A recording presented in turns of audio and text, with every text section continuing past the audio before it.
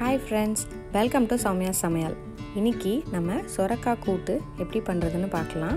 First குக்கரில் கடலைப்பருப்பு போட்டு அது பாட்டு கொதிச்சிட்ருக்கட்டும். நம்ம வந்து காயெல்லாம் கட் பண்ணிக்கலாம். நான் சொரக்காய் கட் பண்ணி அதை ஆட் பண்ணிட்டேன். ஆட் பண்ணி நல்லா மிக்ஸ் பண்ணி விடுங்க.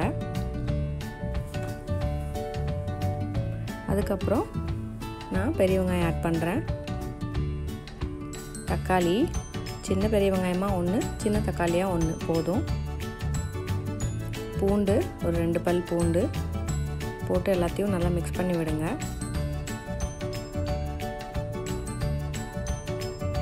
அப்புறம் ரெண்டு ஸ்பூன் உப்பு.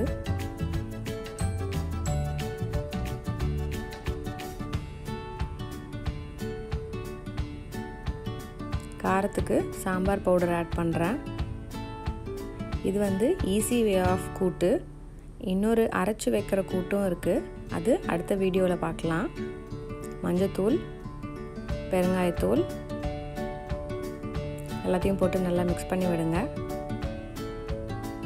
நல்லா கொதிக்கட்டும். கொதிச்சதுக்கப்புறம் மூடி வச்சு ஒரு ஃபைவ் விசில்ஸ் வரட்டும். பார்த்திங்கன்னா நல்லா குழஞ்சி வந்துருச்சு.